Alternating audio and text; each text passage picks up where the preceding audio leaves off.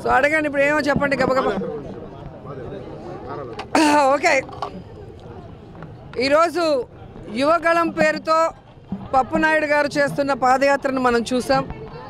ఈ రాష్ట్ర ప్రజలకి తన తండ్రి ఏం చేశాడు తాను మంత్రిగా ఏం చేశాడు ఒకవేళ మళ్ళీ అవకాశం ఇస్తే ఏం చేస్తామనేది ఎక్కడా కూడా మాట్లాడట్లేదు. కేవలం జగన్ గారిని ముఖ్యంగా ఆడపడుచునైన నన్ను డైమండ్ పాప అంట. ఏంటి లోకేష్ అంకుల్ చెప్పండి? దేనికోసం రాజకీయాలకు వచ్చారు? నాన్న ముఖ్యమంత్రి కాబట్టి రాష్ట్రాన్ని దోచుకొని హైదరాబాద్లో దాచుకున్నది చాలక మళ్ళీ ఈరోజు దోచుకోవాలనే దానికి ఒక అవకాశం కావాలా? మీకని అడుగుతున్నా.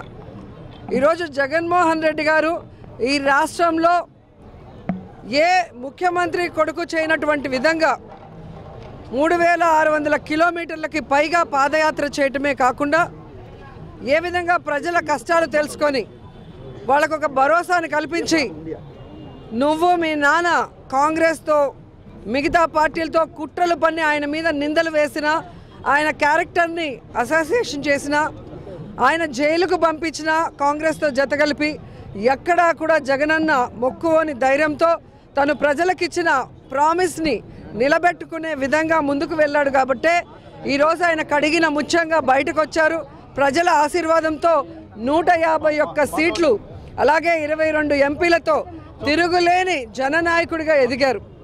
ఈరోజు ఆయన చెప్పిన ప్రతి వాగ్దానాన్ని నైంటీ ఎయిట్ పర్సెంట్ ఈరోజు పూర్తి చేశాడు కాబట్టి మీ బిడ్డ మీకు మంచి చేశానని నమ్మితేనే ఓటు వేయండి అని చెప్పి ఆయన ధైర్యంగా ప్రజల్ని అడ అడగగలుగుతున్నారు.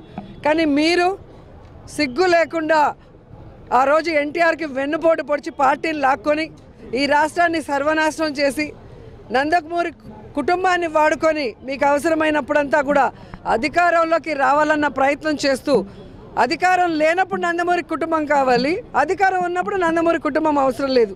కానీ వాళ్ళకి అది అర్థం కావట్లేదు. కాబట్టి లోకేష్ అంకుల్ నువ్వు తెలుసుకోవాల్సింది ఒక్కటే నీది యువగళం కాదు ఒంటరి గళం. నీ చుట్టూ ఉన్న గన్మ్యాన్లు రో పార్టీని తీస్తే పది మంది కూడా నీతో లేరు అంటే నువ్వు లీడర్గా హండ్రెడ్ పర్సెంట్ ఫెయిల్యూర్. ఇది ఎప్పుడో మంగళగిరి వాళ్ళకి తెలుసు కాబట్టే నీ గురించి నిన్ను ఎమ్మెల్యేగా ఓడించి పంపించారు. ఎక్కడైనా తండ్రి ముఖ్యమంత్రిగా ఉండి కొడుకు మంత్రిగా ఉండి కూడా ఎమ్మెల్యేగా ఓడిపోవడం ఈ దేశ చరిత్రలో చూసారా?